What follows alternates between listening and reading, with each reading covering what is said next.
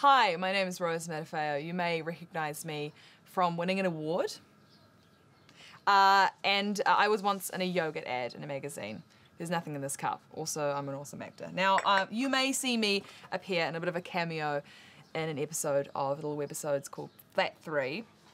Now, I have to be honest, it's kind of beneath me because I I don't know how like it's a bit of a shoddy kind of situation. Like the scripts have a lot of vagina jokes and the actors like I think they did like a one month at South Seas and stuff and uh, they just like, well, let's make something. And I'm like, okay, sure. It's more of like a charity thing for me because I'm like, let's just help out these people doing this thing they love. Like, sure, What? maybe no one watches it. What the Um, fuck? What? JJ! Oh my god! I didn't even know you were there. I thought How- you loved being on Flat 3. This is this is the the best. I love it. I didn't know you I- were there. I just heard you. You just How much did you hear? every everything. Everything.